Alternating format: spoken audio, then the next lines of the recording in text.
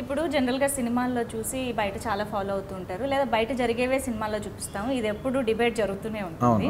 But అది పక్కన పెడితే జనరల్గా సినిమాల్లో చూపించిన వాటికి కొంతవరకు ఇంపాక్ట్ అవుతారు ఇన్ఫ్లుయెన్స్ అవుతారు.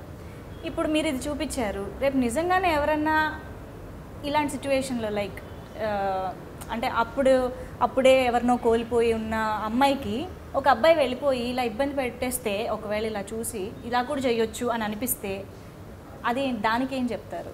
అంటే మీరు అన్నట్టు ఇది ఎప్పటి నుంచి ఎప్పటి నుంచో ఉన్న డిబేటే ఎప్పటికీ సాల్వ్ అవ్వని డిబేట్ కూడా. ఎందుకంటే మీరు సినిమాలో చూపించే ప్రతిదీ రియాలిటీలో చెయ్యాలా అంటే అది కరెక్ట్ కాదు. ఎందుకంటే ప్రతి ఒక్కడు ఫాలో అవ్వాల్సిన అవసరం లేదు ఫాలో అవుతారని రూల్ లేదు. కానీ అట్ ద సేమ్ టైం రివర్స్లో ఆలోచిస్తే నిజంగా బయట జరుగుతున్నవే సినిమాలో కూడా చూపిస్తున్నాం. మీరు మీరు ఇందాక చెప్పిన స్టేట్మెంటే కరెక్ట్ అది అండ్ ఇప్పుడు ఓకే నేను నేను చెప్పినట్టు నేను సినిమాలో చూపించినట్టు మీరు అమ్మాయి ఎంట పడితే ఓకే.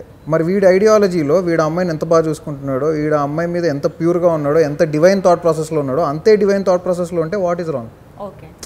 మీ థాట్ ప్రాసెస్ కరెక్ట్ అయితే మీ ఐడియాలజీ కరెక్ట్ అయితే లవ్ అనేది ఎక్కడైనా పుట్టచ్చు. దానికి ఇక్కడే పుట్టాలి ఈ రోజే పుట్టాలి కలిసి ఇన్ని రోజుల తర్వాతే పుట్టాలి అనేది మా ఈరోజు నేను కొత్తగా చెప్తుంది కాదు. అది అందరికీ తెలిసిందే. అందరూ ఫాలో అయ్యేదే. అండ్ ఏది మన చేతిలో ఉండదు ఆ టైంలో. మీకు ఈవెన్ మనోడు హీరో అమ్మాయిని చూసినప్పుడు కూడా ఇంక్లూడింగ్ మీరు ఒక ఆర్ఆర్ని అబ్జర్వ్ చేస్తుంటే కూడా ఆర్ఆర్ చాలా క్లాసికల్ టచ్ ఇచ్చాం. ఎందుకంటే for him it is a very divine thing వాడు ఇప్పటిదాకా ఎప్పుడూ అలాంటి సిచ్యువేషన్లో లేడు. మీకు టీజర్లో రిలీజ్ చేసిన డైలాగ్ కూడా మనకి సినిమాలో నేను చాలాసార్లు నేను నేను రోజు సావలేకపోతుంటా పొద్దున్న లేస్తే నా పనే అది. కానీ ఆ పిల్లని చూస్తుంటే మాత్రం చేతికున్న ఎంట్రుకలు ఇట్టలు లెగిసి నించున్నారా. అంటే ఆడికి గూస్ బంప్స్ వచ్చాయని ఆడు చెప్పే మూమెంట్ సో నిజంగా ఒక అమ్మాయిని చూడగానే అంత గూస్ బంప్స్ వచ్చాయి అన్నప్పుడు ఏం చేయగలుగుతాడు వాడు? ఓకే సో ఇటేమో భర్త చనిపోయిన అమ్మాయికి హీరో ప్రపోజ్ చేయడం ప్రేమించడం ఇదంతా జరుగుతుంది. ఇంకోవైపు అమ్మ. భర్త ఉన్నాడు బట్ స్టిల్ ఉండి లేనట్టుగా ఉన్నారు. ఇక్కడ అమ్మతో ఫస్ట్ ఆఫ్ ఆల్ ఫస్ట్ మాకు కనిపించే సీన్స్లో కలిసి మందు కొట్టడం. మందు గురించి డిస్కషను గొడవ. ఇది బేసిక్గా ఎవరు ఎక్స్పెక్ట్ చేయలేదు ఫస్ట్ ఆఫ్ ఆల్ కానీ కొంచెం ఇది కూడా మళ్ళీ ఇప్పుడు ఫ్యామిలీతో వెళ్ళినప్పుడు అమ్మ కొడుకులు అందరు కలిసి వెళ్ళినప్పుడు చూస్తే కూడా కొంతమందికి ఇది ఇబ్బందిగా అనిపించే అవకాశాలు ఉంటాయి కదా. అమ్మ కొడుకు కలిసి మందు గురించి కొట్టుకోవడం ఏంటి అని అనిపించే అవకాశం ఉంటుంది. So what you have to say about అంటే ఒకటండి ఇక్కడ మనకు ఓవరాల్గా వరల్డ్లో సిటీస్ రూరల్ ఏరియాస్ పెద్ద పెద్ద బంగ్లాలు చిన్న చిన్న గుడిసెలు అన్ని రకాల ఎన్వైరన్మెంట్స్ ఉంటాయి. నేను ఎక్కడున్నానో అది మాత్రమే సొసైటీ నేనున్నది మాత్రమే లైఫ్ స్టైల్ అనుకుంటే నాకు కష్టం. నాకు తెలిసిందే లైఫ్ స్టైల్ అనుకుంటే మాత్రం కష్టం. ఎందుకంటే మీరు చూసే వరల్డే కాకుండా మీరు బతుకుతున్న వరల్డే కాకుండా బయట ఇంకా కొన్ని వేల కోట్ల మంది బతుకుతున్నారు. అన్ని కోట్ల మందిలో ఒక్కొక్కటిది ఒక్కొక్క కథ. నేను పిక్ చేసుకున్న క్యారెక్టర్ పేరు బస్తీ బాలరాజు వాళ్ళ అమ్మ పేరు గంగమ్మ అండ్ ఈ క్యారెక్టర్ పోనీ నేను ఏమన్నా కొత్తగా ఎక్కడ లేనిది ఇప్పుడు ఈ గంగమ్మ అనే క్యారెక్టర్ ప్రపంచంలో ఎక్కడ లేనిది తీసుకొచ్చానంటే కాదు.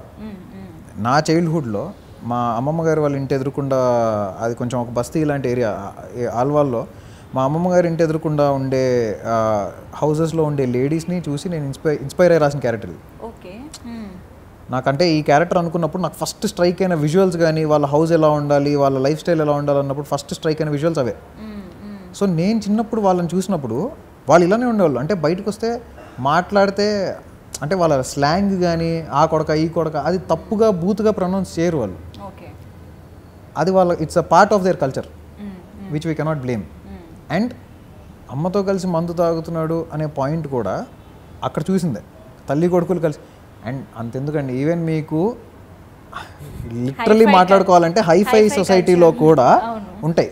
కానీ వాళ్ళు ఎందుకు ఇబ్బంది పడతారంటే నిజం చెప్తే ఇబ్బంది పడతారు కాబట్టి.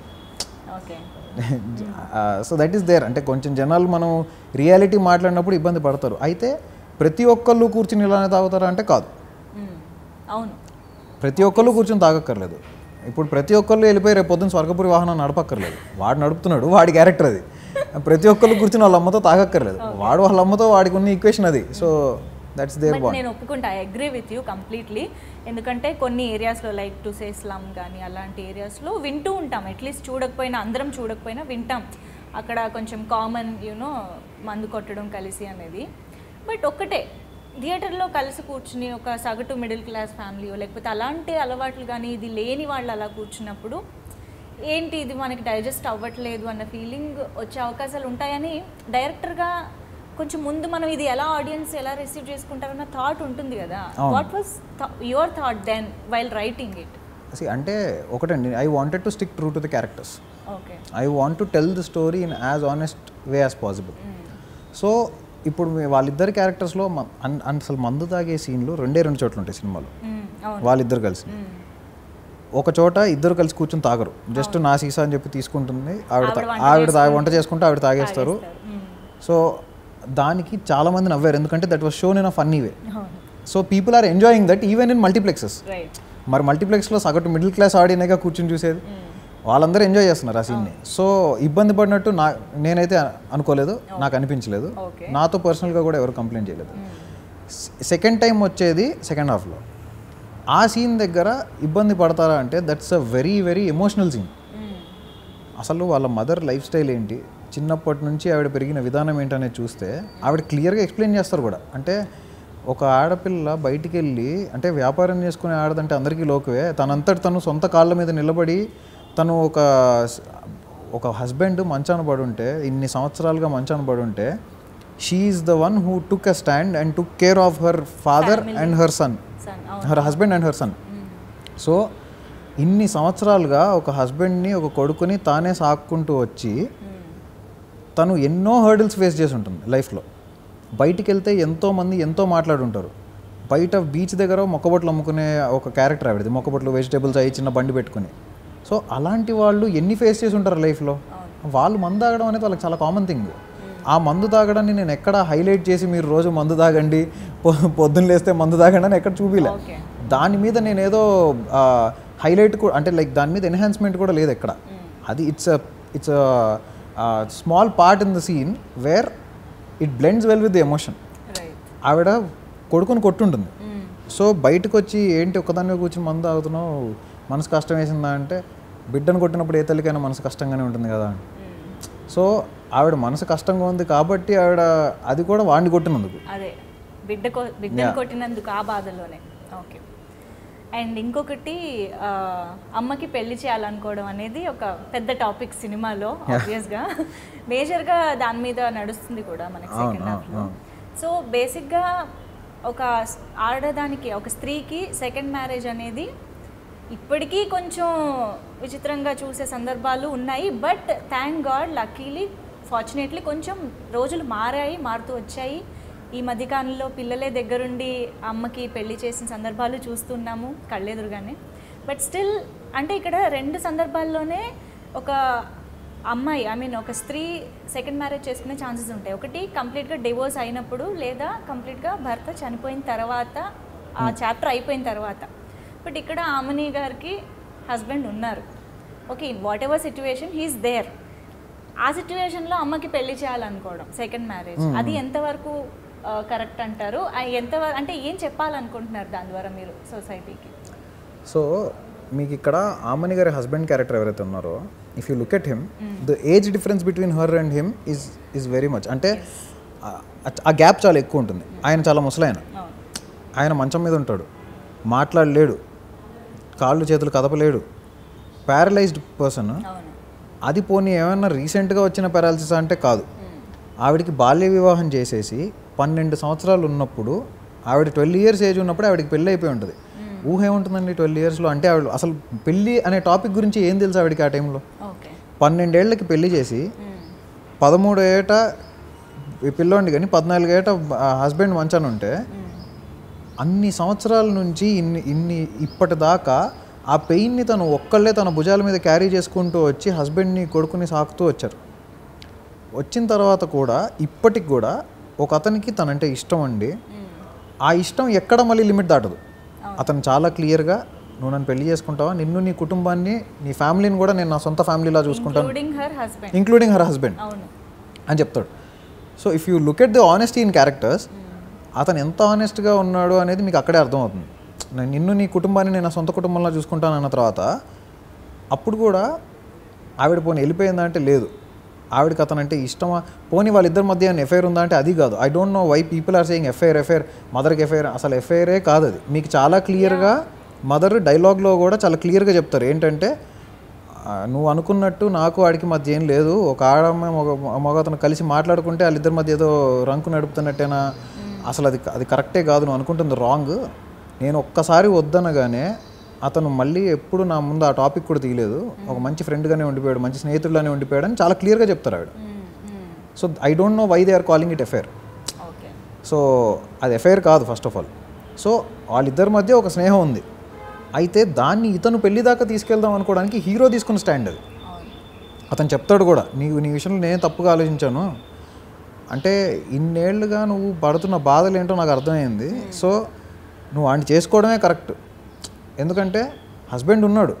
కానీ వీడి అంగీకారంతో జరిగిన పెళ్ళి కాదు. పన్నెండేళ్ళప్పుడు ఎప్పుడో పెళ్ళి చేసేసారు ఇన్నేళ్ళుగా మంచాన పడి ఉన్నాడు. ఇప్పటికి కూడా ఆవిడ లైఫ్లో సంతోషంగా ఉందా అంటే అది లేదు. సో ఒక అతను తనంటే ఇష్టం ఉండి తనతో కష్ట సుఖాలు పంచుకుంటాను అన్నప్పుడు కలిసి ఉండమని చెప్పడంలో తప్పేంటి? అండ్ ఈ రోజుల్లో మీరు నిజంగా మీరే అన్నట్టు మనం ఈ మధ్య కొన్ని ఆర్టికల్స్ కూడా చూస్తున్నాం. పిల్లలే పెద్ద పేరెంట్స్కి దగ్గరుండి పెళ్ళిళ్ళు చేస్తున్న సిచ్యువేషన్స్ కూడా ఉన్నాయి. అది బేసికల్లీ ఏంటంటే ఆ క్యారెక్టర్ పడుతున్న ఎమోషన్ అనేది ఒకసారి అర్థం చేసుకుంటే దాంట్లో ఉన్న డెప్త్ ఏంటనేది మీకు ఆటోమేటిక్గా క్లియర్గా ఉంటుంది. ఓకే సో యాక్చువల్లీ కౌశిక్ గారు చిల్ నేను ఏంటంటే నో సీరియస్లీ ఇవన్నీ నేను అడుగుతున్నది దానికంటే కూడా బయట ఉన్న కామెంట్స్ చూసినప్పుడు. నాకు అనిపించింది ఇన్ని డౌట్లు ఎందుకు వస్తున్నాయి?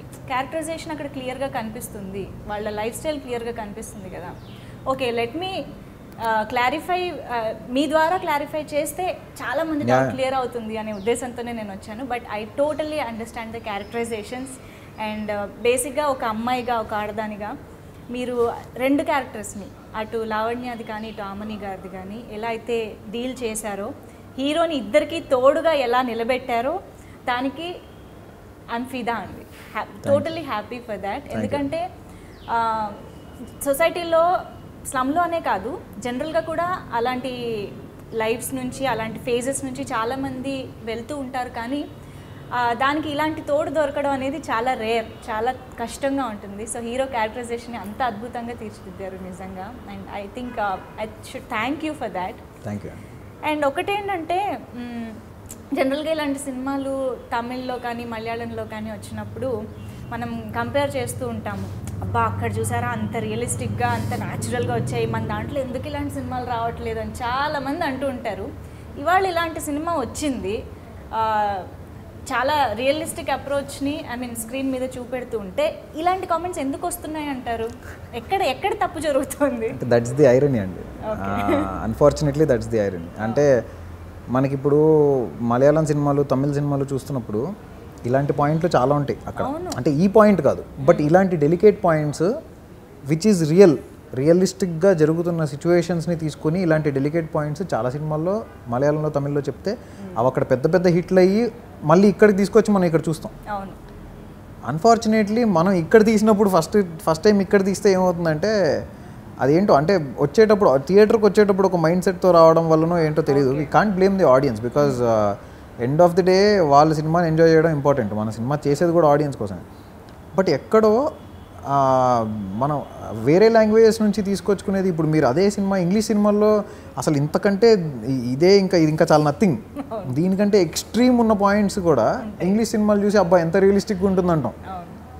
అది మీరు తెలుగుకి వచ్చేసరికి ఎక్కడో మరి I don't know why why it happens like that but somehow అదైతే ఉంది. అది కొంచెం పోవాలి. ఇప్పుడిప్పుడే తెలుగు సినిమా చేంజ్ అవుతుంది.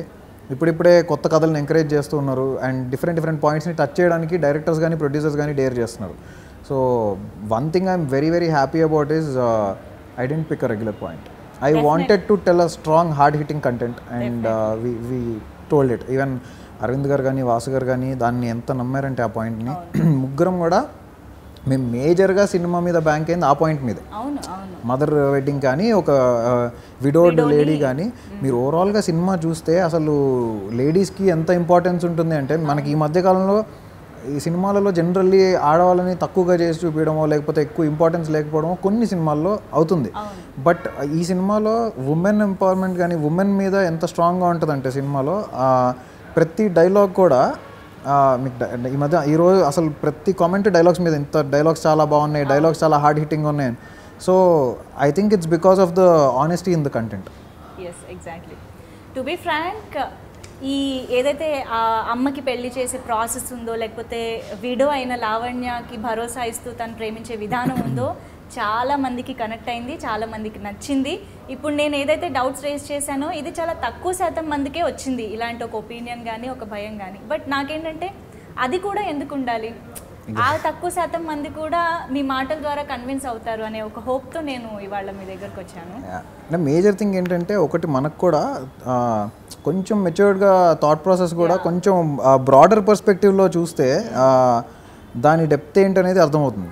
కాకపోతే ఏంటంటే ఇప్పుడు మనకి మేజర్గా ఇప్పుడు మీకు సోషల్ మీడియాలో ఉండే క్రౌడ్ అంతా కూడా యూత్. మన మదర్ మన మదర్స్ లేకపోతే ఆ ఏజ్ గ్రూప్ వాళ్ళు సోషల్ మీడియాకి వచ్చి పోస్టులు చేసేది. సో వాళ్ళ నుంచి నాకు నిన్న సినిమాకి వెళ్తే ఈవినింగ్ మళ్ళీ ఈవినింగ్ షోకి వెళ్తే ఒక అతను వచ్చి నేను మార్నింగ్ సంధ్యాలో చూశాను మా మదర్ని తీసుకొని మళ్ళీ వచ్చాము మా మమ్మీకి చూపిద్దాం సినిమా. సో లేడీస్ ఎంత బాగా కనెక్ట్ అవుతున్నారు అనేది నాకు వస్తున్న కాల్స్ కానీ మెసేజ్ కానీ చూస్తుంటే I'm very very happy because end of the day నేను చెప్పాలనుకున్న కంటెంట్ కూడా వాళ్ళ related. So main point of the film the core of the film itself is about ladies ladies so వాళ్ళు ఎంత బాగా కనెక్ట్ అవుతారో సినిమా అంత బాగా రీచ్ అయినట్టు. So I'm very very happy that it's connecting to them